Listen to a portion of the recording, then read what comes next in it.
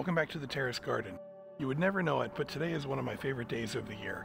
It's January, it's raining, it's not that pretty outside at all, but today I'm going to start my fig cuttings.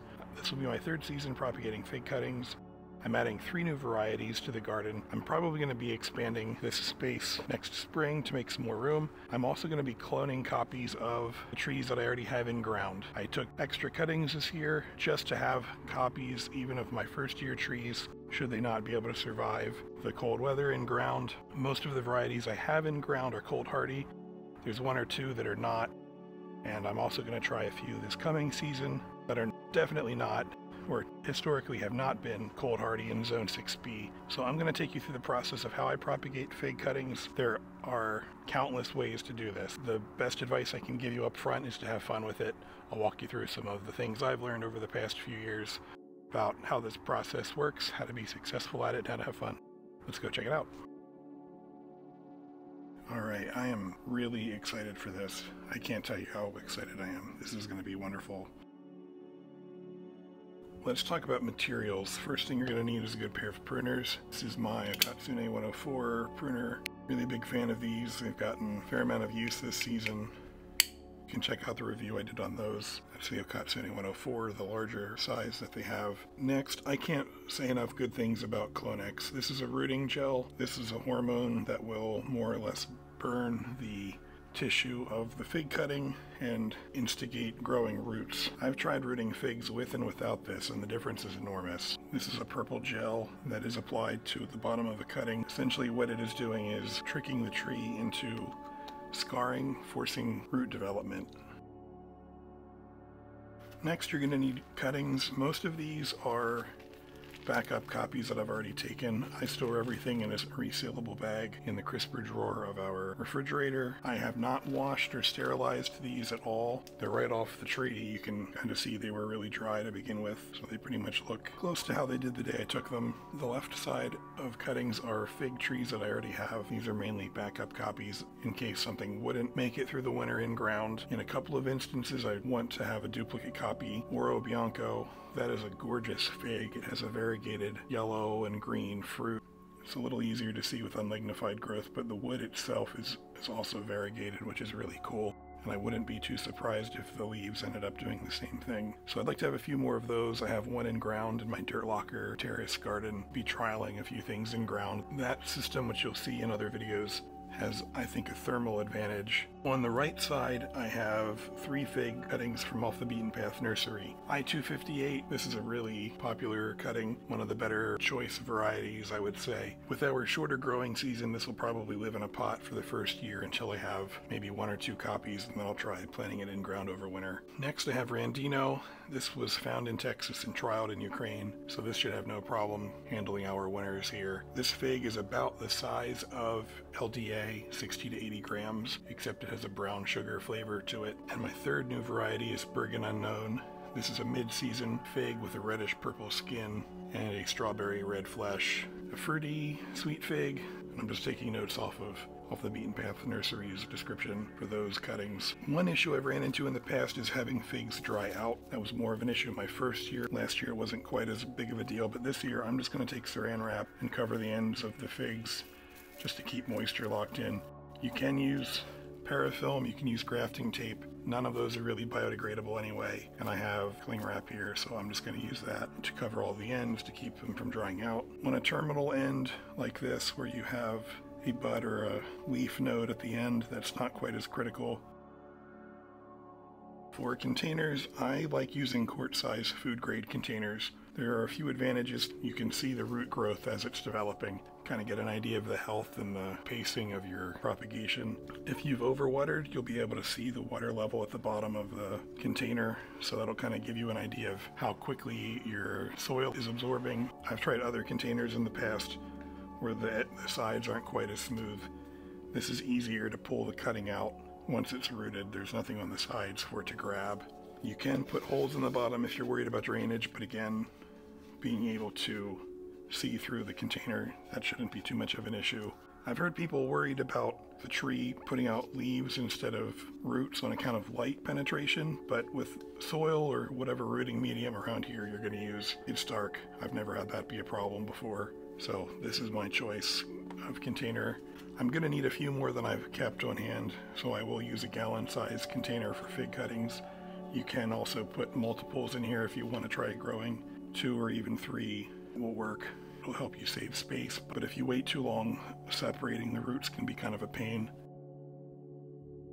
From left to right, I have vermiculite, perlite, and peat moss. In the past, I've used a 50-50 mix of vermiculite and perlite and had pretty good success. Blends of peat moss and perlite are also pretty pretty popular. Vermiculite and and perlite, they're both minerals, so it's sort of hilarious to see packaging talk about them being organic. They're basically sterile minerals. But vermiculite is porous. It sort of has some flex to it, kind of looks like mica. You can kind of get an idea of how light. Perlite, this is a volcanic glass. This is very dusty to handle. For either of these, I recommend being outside. Use at your own risk. You don't want to inhale any of the dust from, from these media, so Try to be in a well-ventilated area if you're going to use them. Peat moss, this is a Canadian sphagnum moss. Peat moss is going to retain more moisture than these two media. Perlite is going to help with aeration. Vermiculite is going to help with water retention. I have a third of a bag of each of these three, so this year I'm going to try mixing all three. I know some people just use potting soil. I've also heard stories of people being successful simply planting their cutting in the ground. I think there's a lot of fuss about which media people want to use. If you ask a dozen people,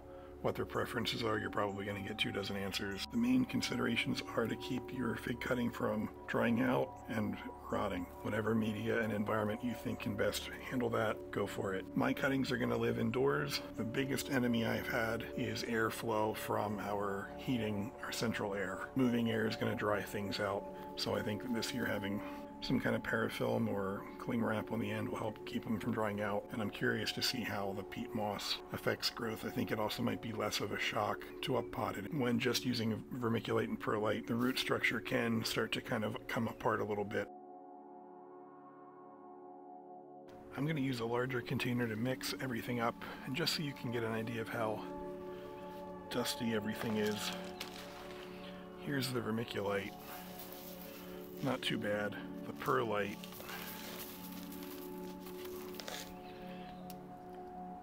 Has quite a bit of dust, so definitely do this outdoors. One measure you can take that'll solve two problems at once is to add water. So this will help keep the dust down. It will also mean that you don't have to water your plants right off the bat, which can be very helpful. Kind of having a, a damp damp rooting media to start rather than trying to figure out how much water to add later. You don't want it soggy, but and again, I think damp is really the best, the best descriptor for it.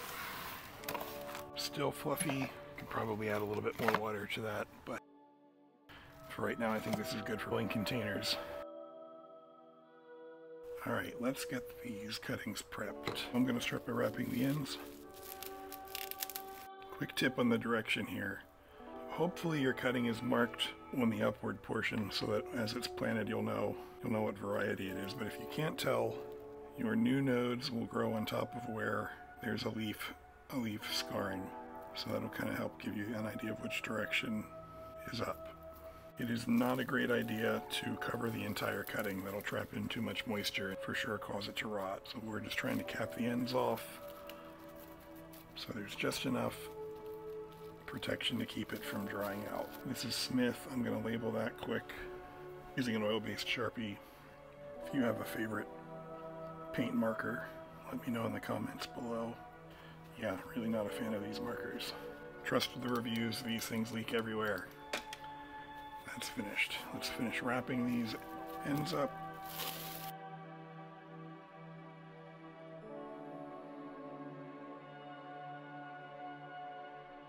The cut ends are all wrapped in cling wrap, so they're not going to dry out. The next order of business is going to be to scar the lower end of each cutting to kind of help with root growth. And actually what I'm going to do also is just clean up the end of each cutting so that it's got some new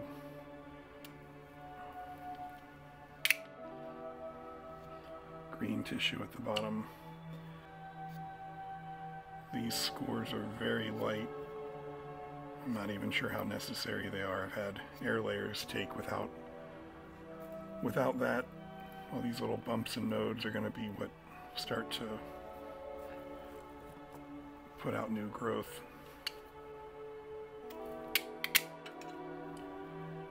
There you can see a good before and after.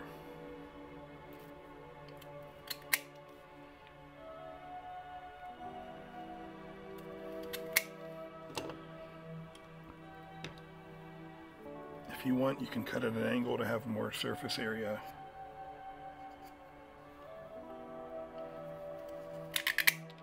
This cutting is three quarters of an inch thick, and this pruner went right through it. This is a cutting that I took right before I started today, so I don't need to make a new clean cut.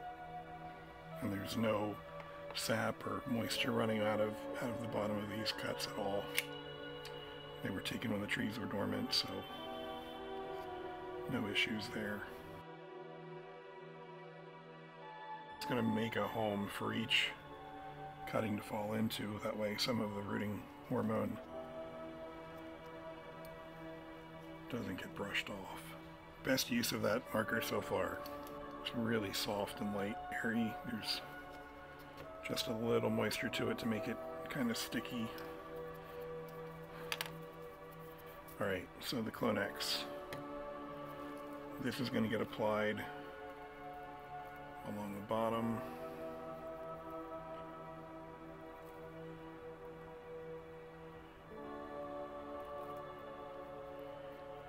I've never used this at the beginning of the season. I've only ever done it to root air layers and also to kind of bring back some stubborn cuttings. So I'm really excited to see how this does.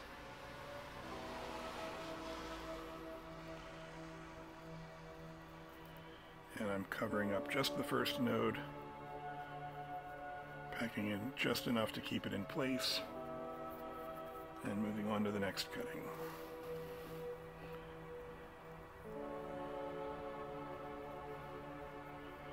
Still see the label very nicely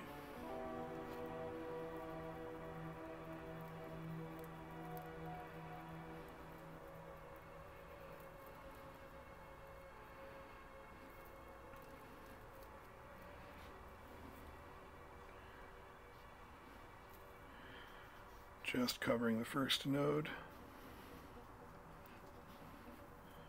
There we go.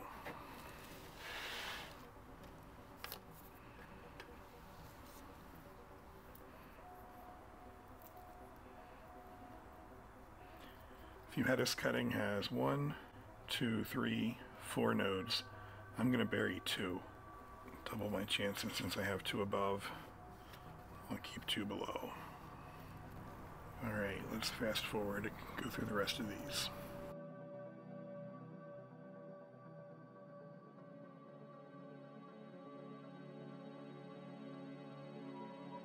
There we go, a dozen cuttings. So they're all in one container. I can move them in and out of the house as I need to.